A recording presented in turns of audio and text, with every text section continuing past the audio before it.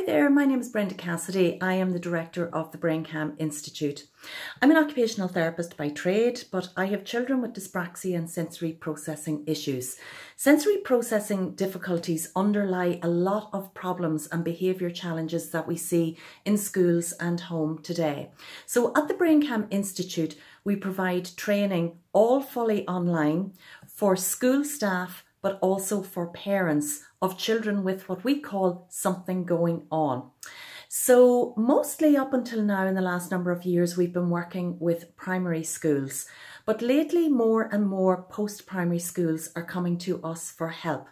So we're starting the journey with them by training special needs assistants, special education teachers, all about sensory something going on to start with in children in the uh, special education classrooms, mostly children with autism or dyspraxia sensory processing difficulties, but in the special classroom.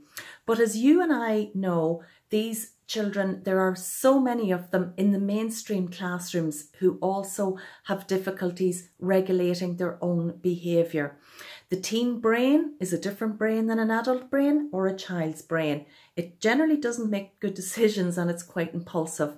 Also, when you throw hormones into the mix, along with a potentially undiagnosed something going on, we have all sorts of mayhem that can happen and anxiety in the young adult or the teenager.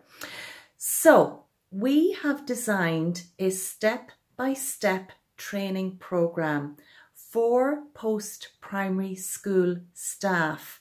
We're starting off by, as I said, training the special education teachers and the SNAs in the whole school to A, understand what sensory processing difficulties are, to colour code them, I have come up with my own unique colour coding system to help them understand.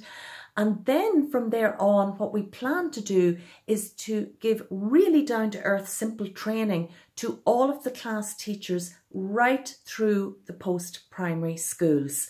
And this will help everybody be on the same page understand why these children are the way they are, understand if they need little breaks and which breaks they need, um, and understand um, how this child learns and why their challenging behavior can be challenging at times okay?